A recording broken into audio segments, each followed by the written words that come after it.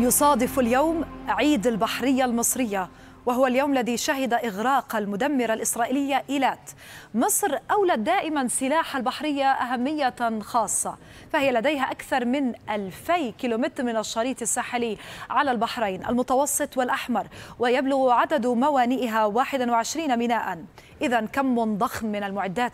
لا يمكن استعراضها دفعة واحدة. لكن نتحدث هنا عن حاملتي طائرات من نوع مسترال الفرنسية وهي سفينة هجومية برمائية. هذه السفينة تعرف أيضا باسم حاملة المروحيات. هي قادرة على نقل ونشر 16 طائرة هجومية وأربع سفن إنزال وأيضا 70 مركبة بما في ذلك الدبابات بالإضافة إلى 450 جنديا. وهي أيضا مجهزة بمستشفى يضم 69 سريرا. أما الغواصات فتمتلك مصر 14 غواصة بأنواع مختلفة. أهمها غواصات تايب 1400 و 209 الألمانية الهجومية الحديثة.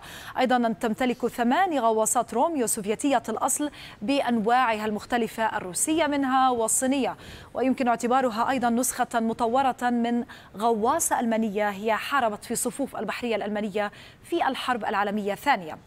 أما إذا ذهبنا إلى الغواصة الإنجليزية وهي تمتلك منها مصر اثنتين. هما عبارة عن سفينة من فئة 27 ومن تصميم بريطاني.